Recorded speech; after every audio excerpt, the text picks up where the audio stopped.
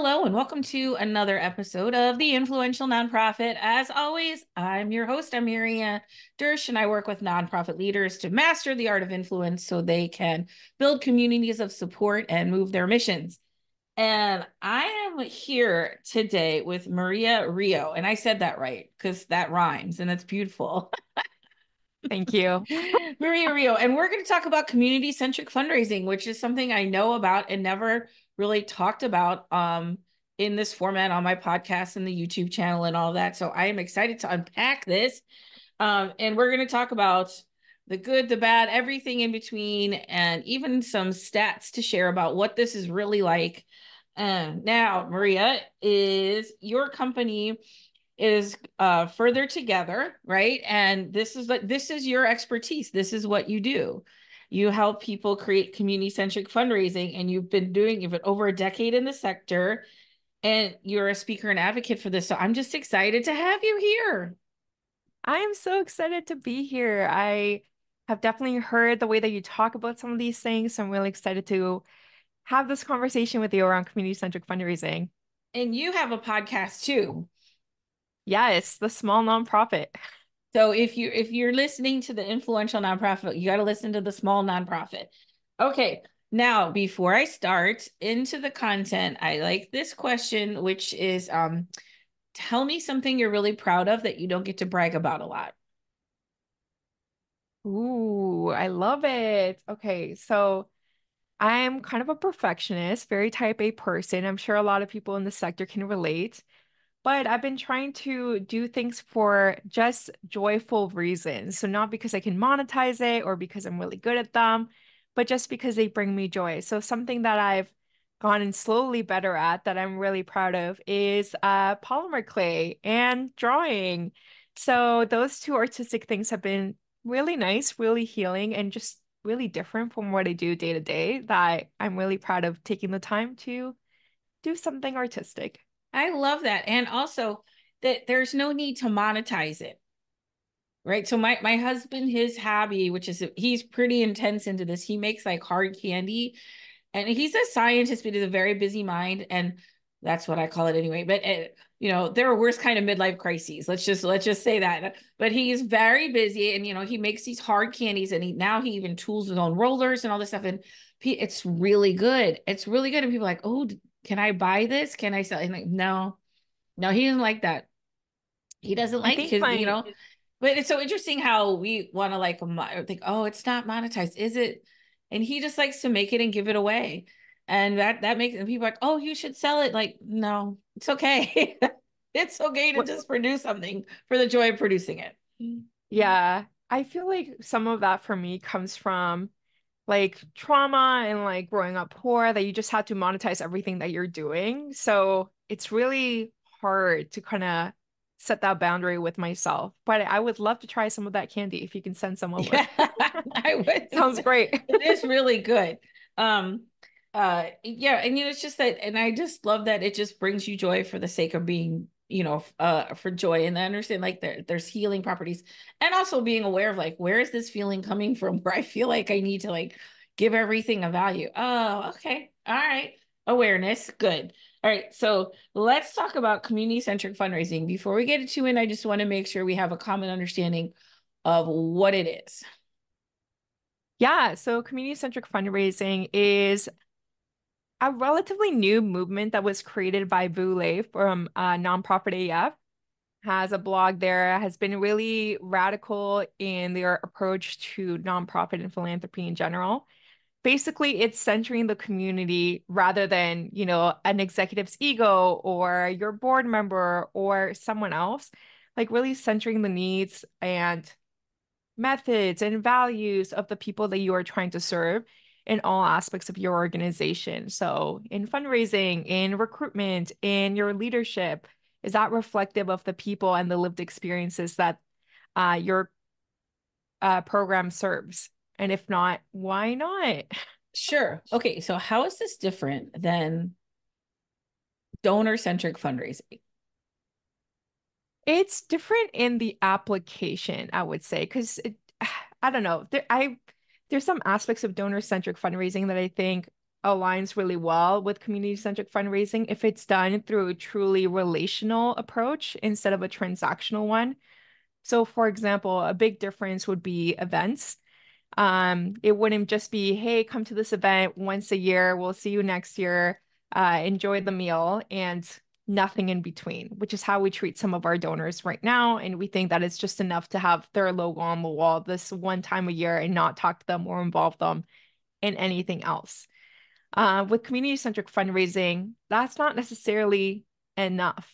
Like, we really want to build true partners in the work, and we want you to know about systemic issues that we're trying to solve, be a partner as an advocate or uh, in your voting or in your volunteering so really being involved with, with the community past that transactional piece. Right. Okay. And um all right, I'm just going to share a couple of thoughts. So I had a meeting, this was a couple years ago, with somebody um, who is a fundraising expert, and they said, Oh, community centric fundraising, because you think you're going to raise money by telling your donors that they're racist. And I was like, that's an interesting take on this. and I, I didn't really um take the bait. I I just was like, hmm, okay, that is a way to look at things. Um, and all and and what I think that comes from is when you're talking about systemic issues. And I think that in in the past or maybe in the present there are we we have a hard time talking about the more complicated systemic issues that are causing the struggles that we have. So for instance if you're working with unhoused people um it's how can you not talk about you know racism and capitalism and the you know and the things that and, and our mental health system the things that are causing this and we have been reluctant to have those conversations lest that's what people think right? Like oh great now you're making me feel bad or calling me racist. Oh, i feel like that's such a superficial understanding of how these conversations usually go. So when i start them with a donor i will start with the community and be like hey like my community is experiencing x y and z and that's tied to broader systemic issues. So, like whether it's food insecurity or homelessness or like even health issues can be tied to broader systemic issues. Um, that's where I started. So, on the community, and then I slowly branch out to kind of understand where their level of socioeconomic um, intersectional issues actually is. So, if they are not even understanding pronouns and why that's important, maybe you want to start with a little bit of donor education on very basic information around that, right? But if they're talking about anti-Black racism and anti-capitalism and its relation to the nonprofit industrial complex, like you can actually jump into a much deeper conversation with that person. So it's not necessarily making someone feel bad because we are all on a learning journey. I remember when I used to say the most nonsensical racist jokes when I was younger and think it was funny. And it took me a long time to learn, like, hey, just because you're Mexican doesn't mean that you can make jokes about Mexicans or whatever it was, right? So, like, slowly moving towards unlearning those bad behaviors that we have in our personal and professional lives and moving towards that education. Yes, you can do it in a way that creates shame and makes people feel bad, but it doesn't necessarily have to be that way we can just approach in a way where we're learning together. Yeah. And so what I hear you is sort of just meet somebody where they're at. You know, and and and it's a release of judgment all across the board because the moment you there's judgment there then it stirs up feelings of guilt and shame and people are going to shut down and that's just how our brains work you can't fight the biology of that but just like meeting people where they're at okay so okay so we'll start here because this is where you're at instead of like or we could start a little bit farther down the path because that's where you're at so we'll just start here, and that's okay. Um, what do you feel like is the the hesitation of sort of moving towards a more community centric model or or adopting it wholly? I think there's a lot of misconception around the amount of money that you can raise using a community centric approach. Um, so that's one, but there's also a lot of fear. So fundraisers don't want to approach their board members and have to explain how this is different than donor centric and why it's important to take an approach that centers equity when a lot of the board members don't even reflect the lived experience or community served. Um, so that can be quite a challenge. And also, you don't want to bite the hand that feeds you, right? You are a little bit worried about losing funds and what that could do for your organizational structure and sustainability. But I think if we give into that fear, we don't allow for the possibility for a donor to actually surprise you or a board member to surprise you. Because when I started having these conversations with donors, it was obvious that they had already been thinking about it for two to three years before I was approaching them about ethical philanthropy. So I think ever since the murder of George Floyd, a lot of people have started to really question why they have privilege and their relationship to wealth and their relationship to these various systems. So we've seen donors pledge to give their money away completely. We've seen people who are inheriting funds actually not want to do that and dispersing it before they even receive it. I've actually also seen donors close their DAFs as well. So they are really thinking about this. But because of the fear that nonprofits internally are facing, like fundraisers don't even get the opportunity to explore that radical change to philanthropy and like how people are actually envisioning themselves as change makers instead of wealth hoarders. Wow. So they're envisioning themselves as change makers instead of wealth hoarders.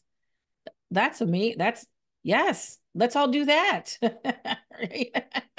they they have the same goal. Like they want to make a change and maybe they just don't know some things. Like I've talked about tax avoidance with donors before and they're like, "Oh my god, I literally did that like 2 weeks ago when I did my taxes. I didn't know that that actually contributes to some societal issues." And same thing, like I'll explain like, hey, I'm a fundraiser. I also contribute to these societal issues by getting you to give me your money instead of giving it to the state. But if I don't, then people are not going to get fed, or at least it'll take a long time until the state steps in and like does things properly. Yeah. So I'm also part of the system, but I don't have a better alternative. So community centric fundraising is about trying to do things in the least harmful way possible. Like we're still working in a harmful system, but what is the least amount of harm that you can do? I think as nonprofit leaders, we want to put good in the world, and it could be, I'm not saying it is, I'm saying it could be sometimes, maybe hard to accept that we could also be contributing to the very issues that we are here to remedy. And that can be a very big i want to say like pill to swallow. Um and then once you can but but acceptance and awareness of that what i'm hearing from you is that opens up then a whole nother set of possibilities and and real true shifts.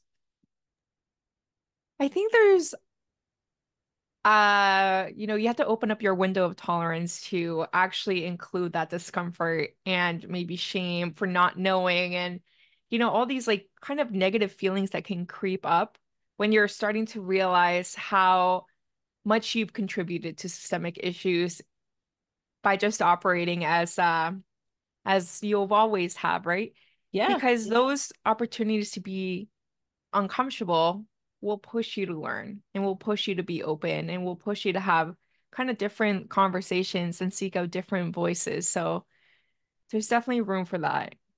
And also, this model works. Okay, so right, uh, we kind of like slug through the difficulties, but tell me because this is a successful model. Tell me, and you you you said you have some stats to share. so tell me, like, let's just give some people some inspiration for this. Yeah, absolutely. So I practice community centric fundraising in my consultancy, and I've been a consultant for over a year now. Woo! And yeah, I've you. Seen! And I've seen so many amazing results for my clients already. Like one organization that I worked with over the past year, we increased their revenue by 30%. Whoa. yes. Um, but I like to share the examples of when I was an in-house director of development and communications as well, because we implemented four major changes. So we did um, reimagining our major donor engagement, revisiting donor-centric events like galas, um, defining our role in public policy, and trying to prioritize the collective mission. And my stats were great. So we grew the year over year quarter four revenue by 55%. Mm. We acquired the first million dollar gift in the organization's history. We retained 26% of 1,563 first time COVID donors in comparison to a sector average of 20%.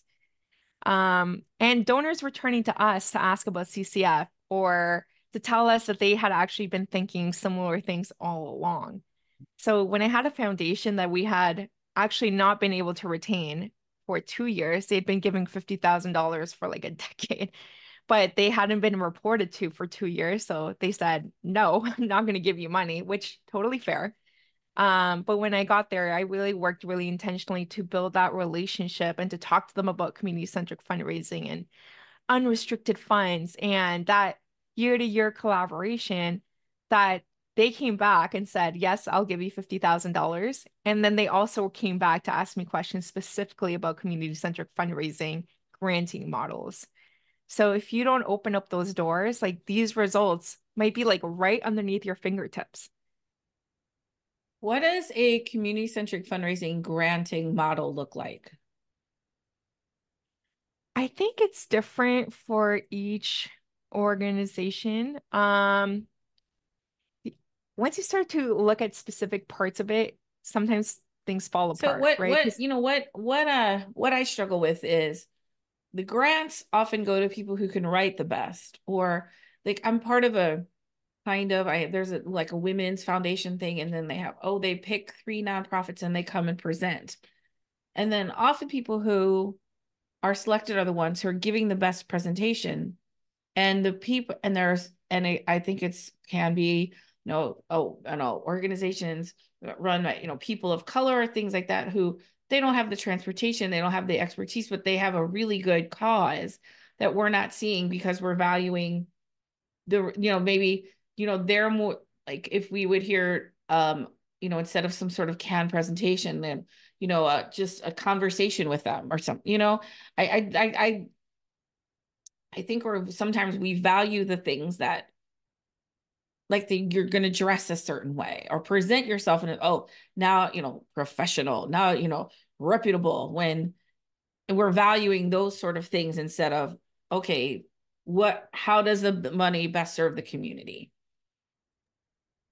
yeah i think there has to be a real intentionality behind how you disperse the grants because there's a lot of ways that bias can show up in there right so when you're talking about the best writer the best speaker then you're almost very quickly eliminating anyone who has English as a second language uh, and might not be able to perform to the level that you want them to, right? So um, I'd like to refer to these these pieces that Vu has actually put on Nonprofit AF um, because he's done a lot of extensive work when it comes to kind of identifying better granting uh, practices. So, for example, when you're asking someone to fill out a budget on your template, that's not a great granting uh, practice because hundreds of organizations are having to do this when you're only going to accept five applications. So you wasted people's time.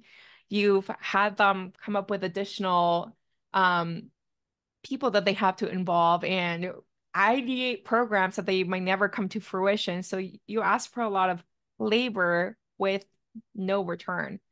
So maybe approaching nonprofits is one of them, seeking out our organizations that are currently receiving less than $1 million, $5 million, uh, intentionally deciding to give unrestricted funds versus restricted to a program or oh something else that's really good is funding the unsexy things yeah so you go to a nonprofit you see the chairs are falling apart you know the chairs are falling apart so why not purpose want my donation to go towards wherever you need it.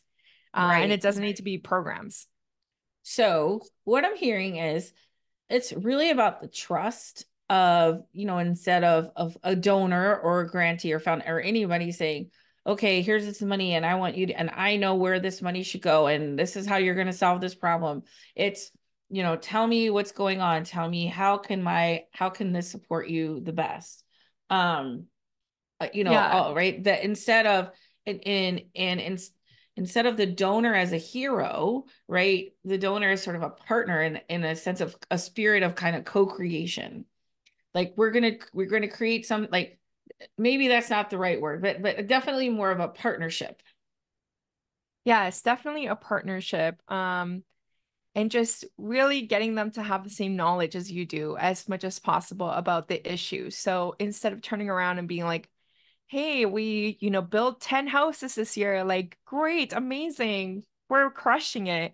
Uh, maybe it's good to say, hey, we built 10 houses and our community actually needed 100. So, is there something that we can do together to strategize around that? Whether that's a transformational gift or maybe you know someone who's a politician, like, what is the strategy that we can take to actually solve this problem?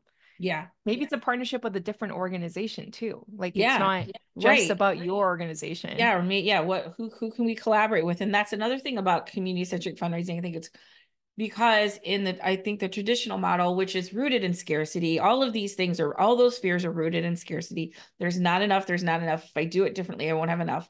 Um, and I know community centric in all our work and what I do we're is, is an abundance that there's enough out there for everyone and that money is a renewable resource.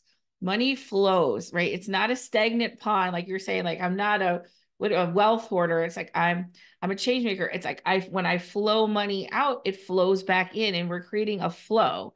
And I have to remind myself that when I'm paying a bill, like I'm I'm creating flow.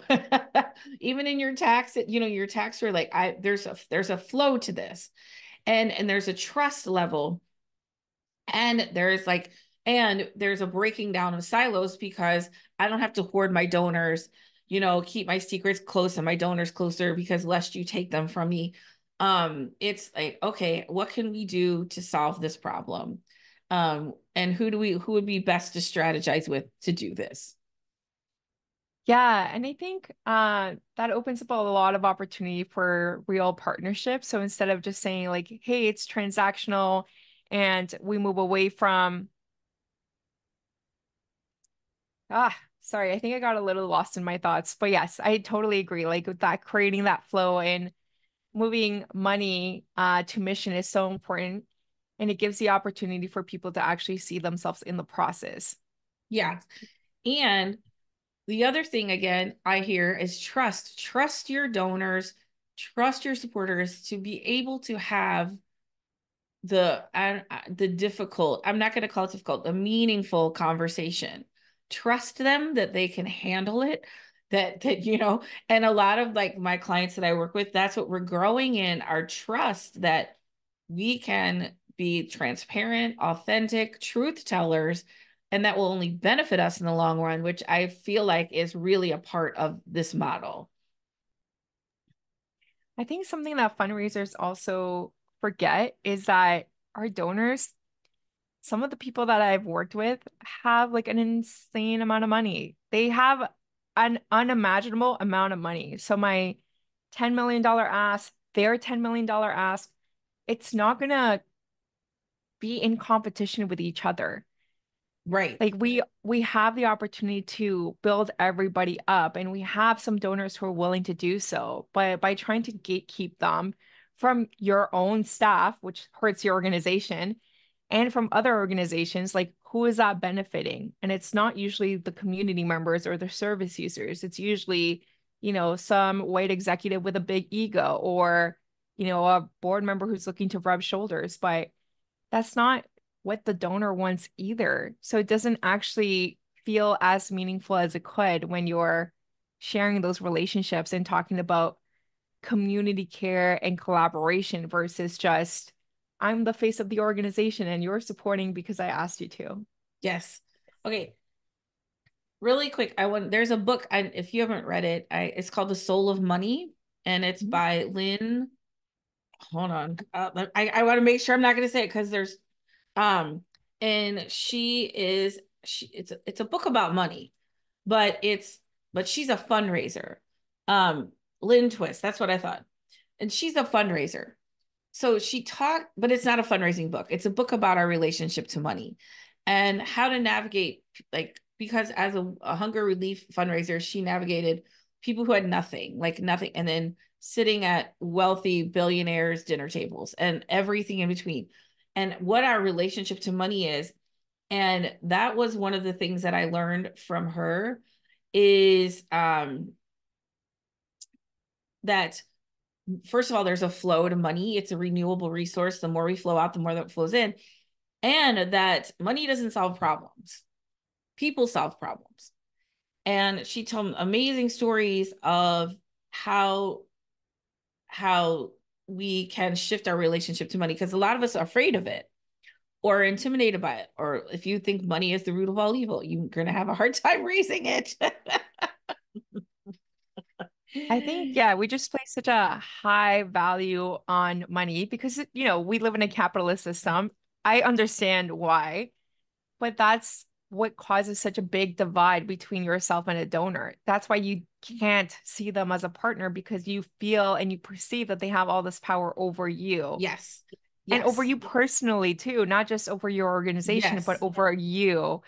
Um, so I think just like when you stop thinking about money in that way and start kind of seeing yourself as like, I'm a person who cares about this, they're a person who cares about this, we're equal in that way. It just creates you, like the space for and, like and you bring your resources and your knowledge and they bring their assets and we all have something and that's one of the things she talks about is everybody has something to share. Everybody Absolutely. has gifts to share and instead of like feeling like of guilt and shame and and and it's uh, she talks about sufficiency and freedom and purpose and anybody who's listening i highly i, I just this one was really a huge shift for me and, and cemented a lot of the things that I was already sort of working on. No, one of the things that I train, coach and train people in influence is releasing the outcome. So this is like the biggest thing because the more you operate in fear, like if you're afraid you're not going to get something or something bad's going to happen, now you're operating in fear. And the more you operate in fear, the more you create fear because you're worried about what could happen. And and and I feel like this is right very much aligns with community centric which is i release the outcome. I have i'm sufficient. I have nothing. I i need nothing. I have everything. You know if this works great. If not that's okay too. You know my job is to create the you know uh, build this community of support and and and and not like try to make something happen. And that and once you like learn to release the outcome but that's what you're talking about is like letting go of the outcome and having that conversation letting go of the outcome and saying what's you know what's really important instead of like feeling like you have to rubik's cube it to make it fit their needs I think when you let go of the outcome too, it gives opportunity for other outcomes, unexpected outcomes. 100% that... the possibilities emerge. They're yes. gonna add there. You're, you're there's gonna be stuff that you never even thought of could happen. Like all you can do is ask, right? As a fundraiser, we get told no all the time. We get told yes all the time. So all you can do is kind of explore this on your own and see how you can build those relationships with people in a really like transformational and equal footing way. I think that has been that has really changed my relationship with fundraising and my relationship with money like really seeing it as we all bring something to this organization to this discussion. Like program staff are the people who are delivering on this work. They're just as important as the donors. So why are we not stewarding our community in this way that actually acknowledges that? Yeah. Yeah i and and this is like i just love how the our my philosophy and how what i coach and train in this model align because it is rooted in abundance and trust and and and when you have those things then you can create so much. But if you're rooted in scarcity and fear it's hard to grow and it's hard to enroll people in that vision that's that's rooted in scarcity and fear and, and but and and Maria, like, and I know you know this, but really embody it, not just say, "Oh yeah," like, but feel because you you had your own journey towards this, and I did too, where I can say, like, I know, I know in my, I know, I know, like, I know I'll have another breath. I know I'll have out the money will come. I know, you know it's winter but spring will come you know and like and and so we we don't doubt that but we doubt like oh what's going to happen where's the money even though it's constantly showing up